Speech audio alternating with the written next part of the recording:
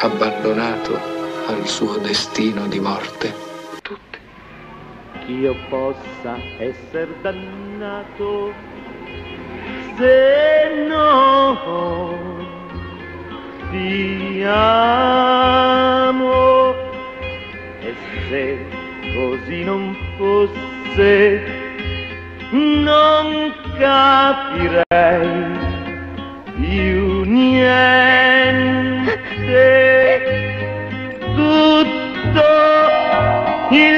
mio folle amore.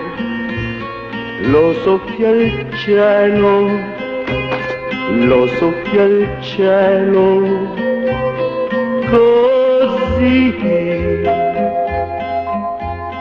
Ah, ma l'erba suavemente delicata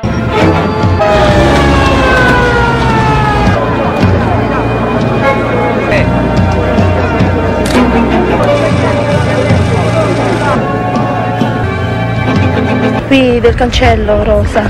Sono arrivata a quella punto lì del barattolo, ho detto dico non è un, la- dice, è un cadavere. Moravia, scusi, una dichiarazione. Non posso La, la morte niente, sono troppo turbato. del-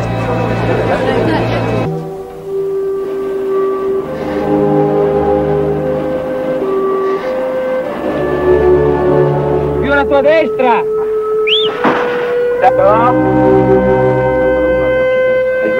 No, no, forse no. Io sono stato molto vicino a Pierpaolo quando ero molto giovane e lui mi ha fatto conoscere la poesia, conoscere il cinema, sono stato assistente del suo primo film, Cattone, e credo che questo delitto sia un delitto non soltanto contro la sua persona, contro questo fratello, ma è un delitto contro la cultura, contro l'intelligenza, contro la poesia. Non conosco, non so assolutamente chi siano stati gli assassini né il movente che avessero, comunque loro hanno impedito di parlare a Pierpaolo, gli hanno chiuso la bocca per sempre. È stato come se, ripeto, anche se tutto questo è molto indiretto, qualcosa di orrendo che c'è in, in giro, di mostruoso, Passami l'ufficio stampa. fosse stata una decisione di farlo tacere per sempre. E questo è sconvolgente. Nella mia qualità di segretario del gruppo socialdemocratico della Camera, ritengo mio dovere denunciare lo spazio aberrante che il telegiornale ha dedicato al torbido assassinio di Pierpaolo Pasolini. Punto. È scandaloso affermare che detto assassinio sia un delitto contro la cultura, maiuscolo, punto. Noi, virgola, e con noi certamente milioni di italiani, virgola, non ci sentiamo affatto rappresentati dalla cultura del signor Pierpaolo Pasolini, punto.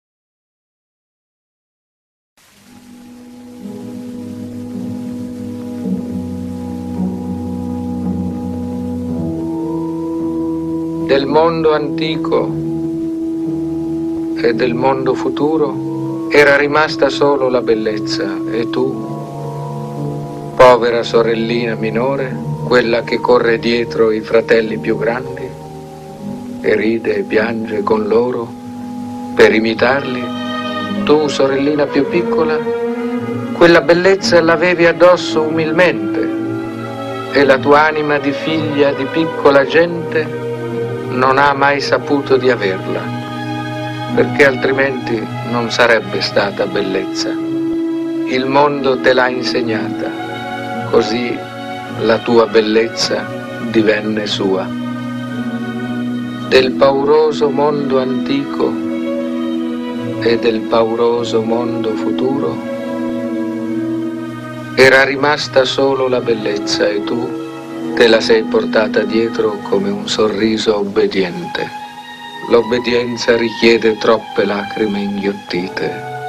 Il darsi agli altri troppi allegri sguardi che chiedono la loro pietà. Così ti sei portata via la tua bellezza. sparì come un pulviscolo d'oro.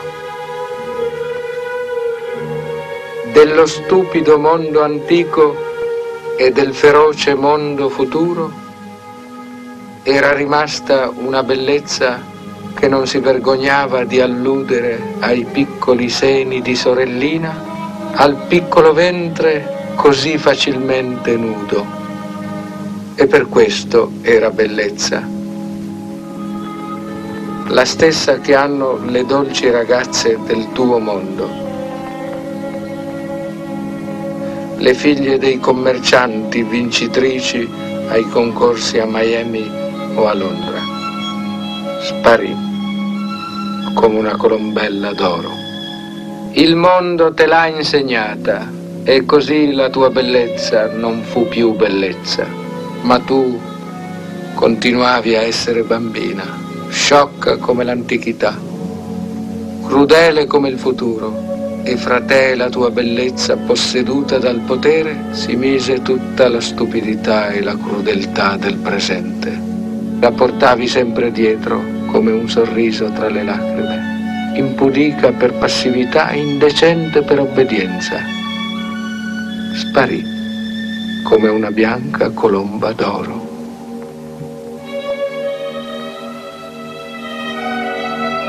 La tua bellezza sopravvissuta dal mondo antico, richiesta dal mondo futuro, posseduta dal mondo presente, divenne un male mortale. Ora i fratelli maggiori finalmente si voltano, smettono per un momento i loro maledetti giochi escono dalla loro inesorabile distrazione e si chiedono, è possibile che Marilyn, la piccola Marilyn, ci abbia indicato la strada? Ora sei tu, quella che non conta nulla, poverina, col suo sorriso. Sei tu la prima, oltre le porte del mondo, abbandonato al suo destino di morte.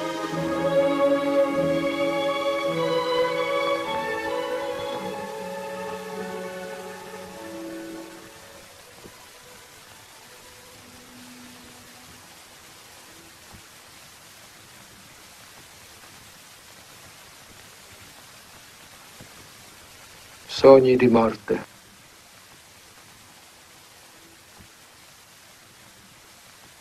Ah, figli, erano mostri le madri, lente fatalità che si compiono fuori dal mondo. Noi non siamo mai esistiti. La realtà sono queste forme nella sommità dei cieli.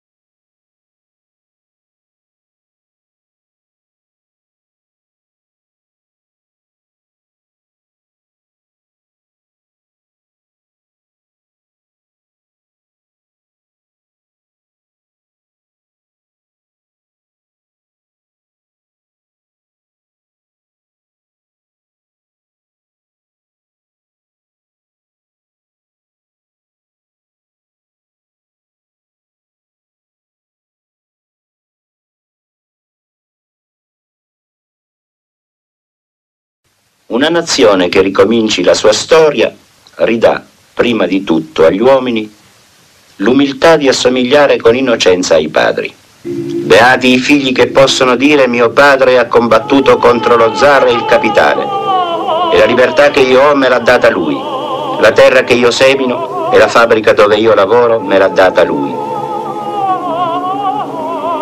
I luoghi dove io godo la mia gioventù me li ha dati lui e io posso essere fiero di assomigliare a lui e pensare di assomigliargli per sempre. Voglio godermi diligentemente la vita, facendo le cose che mi sono state negate nei secoli e che i giovani di provincia o di paese più ricchi di me per secoli hanno fatto.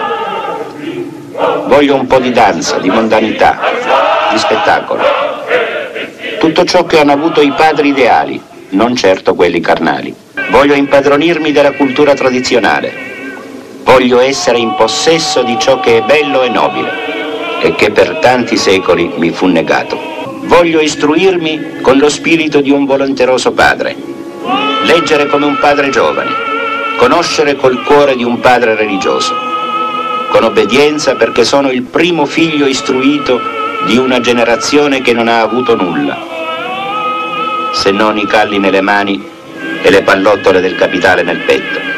E ora che posso, per la prima volta nella storia della mia nazione, io, giovane del popolo, voglio ascoltare la voce della cultura, della scienza, dell'arte.